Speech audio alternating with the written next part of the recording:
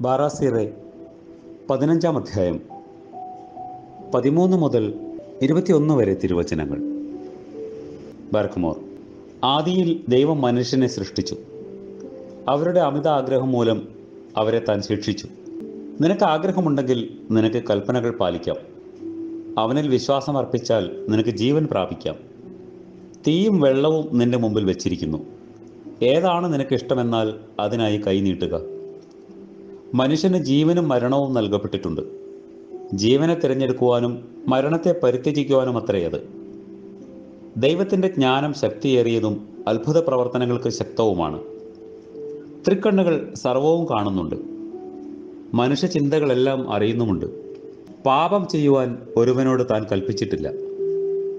അധർമ്മം ആചരിക്കുവാൻ മനുഷ്യരോട് താൻ പറഞ്ഞിട്ടുമില്ല.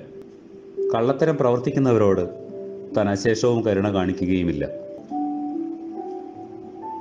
ദൈവമേ നിന്റെ കരുണയാൽ ഞങ്ങൾക്ക് നിരപ്പം സമാധാനവും നൽകി രണ്ട് ലോകങ്ങളിലും ഞങ്ങളോട് കൃപ ചെയ്യണമേ. അമേൻ